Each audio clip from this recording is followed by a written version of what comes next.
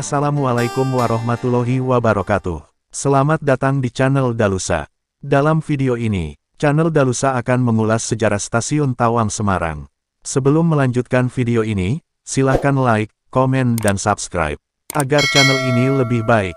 Terima kasih. Ribuan kilo jalan yang kau tempuh lewat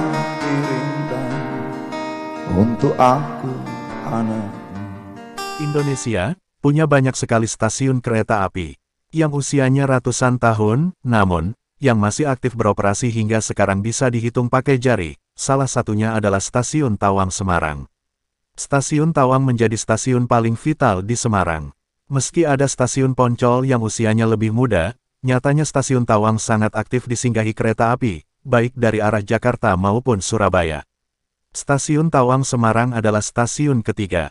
Sedangkan stasiun pertama, adalah stasiun Jurnatan pada tahun 1913 dibangun menjadi permanen. Stasiun Jurnatan dahulu bernama Stasiun Semarang Central. Adalah stasiun kereta api nonaktif yang terletak di Purwodinatan, Semarang Tengah. Stasiun ini termasuk dalam wilayah aset 4 Semarang. Stasiun ini dahulu adalah stasiun besar yang memiliki jalur kereta api yang banyak, depo lokomotif, depo gerbong, serta bengkel dan gudang. Stasiun ini terletak di kota tua Semarang dan berada beberapa ratus meter sebelah selatan stasiun Semarang Tawang. Stasiun Jurnatan ini, pada tahun 1974 tidak lagi difungsikan, karena seluruh jurusan kereta api dipusatkan di Tawang. Stasiun yang kedua adalah Stasiun Gudang, adalah stasiun yang dibangun tahun 1864. Stasiun Gudang merupakan stasiun kedua yang dibangun atas perintah Gubernur Jenderal Baron Slut van de Belle. Stasiun Gudang, dibangun dimulai tanggal 16 Juni tahun 1864. Stasiun Semarang Gudang adalah stasiun kereta api nonaktif kelas besar tipe C yang terletak di Kemijen, Semarang Timur, Semarang. Stasiun ini termasuk dalam wilayah aset 4 Semarang serta merupakan stasiun kereta api yang lokasinya paling utara di Jawa Tengah. Sebelum berhenti beroperasi, stasiun ini menjadi terminal bongkar muat selama beberapa dekade. Hadir dengan arsitektur khas Neo-Belanda, Stasiun Tawang sendiri merupakan pengganti dari Stasiun Tambak Sari.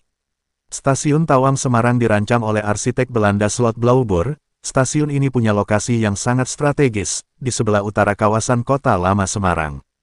Yang pada saat itu, kota lama menjadi pusat perdagangan di Semarang.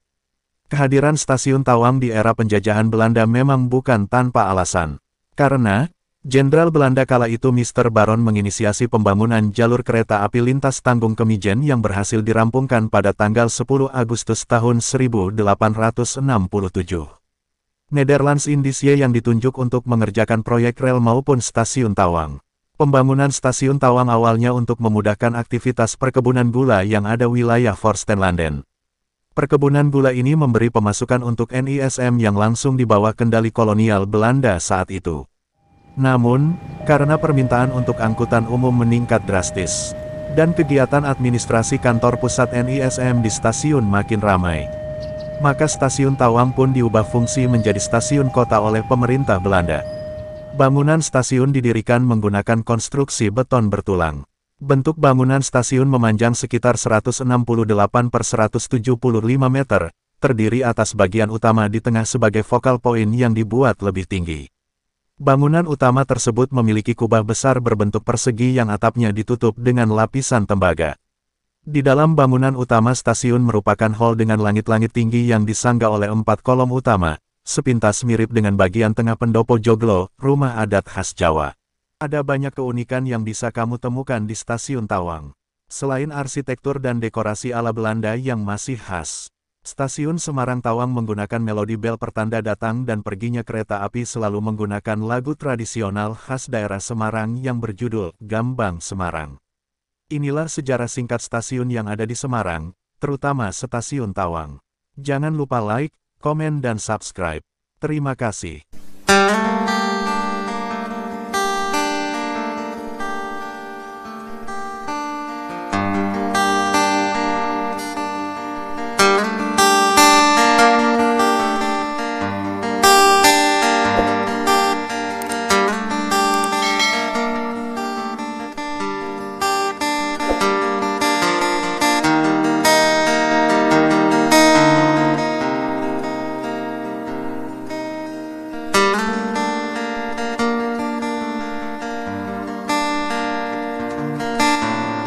Ribuan kilo jalan yang kau tempuh lewat rintang untuk aku anakmu. Ibuku sayang masih terus berjalan Walau tapak kaki penuh darah penuh nama Seperti udara kasihan engkau berikan. Tak mampu ku membahas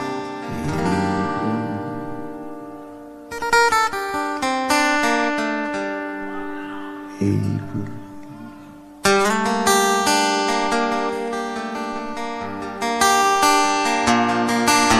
Ingin ku datang dan menangis di pangkuanmu. Sampai aku tertidur. Bagai masa kecil dulu.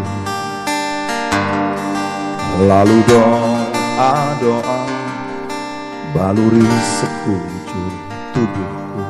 Dengan apa membahas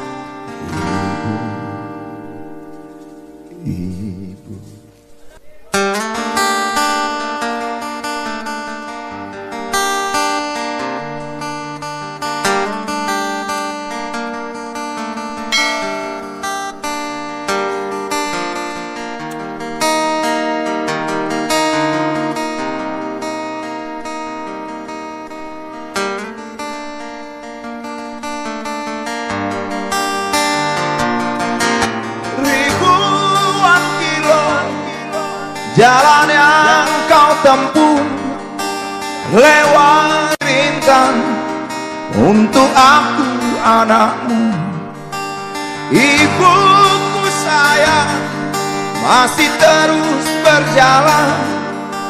Walau tapak kaki Penuh darah, penuh nama. Seperti udara Kasih yang engkau berikan Tak mampu ku membahas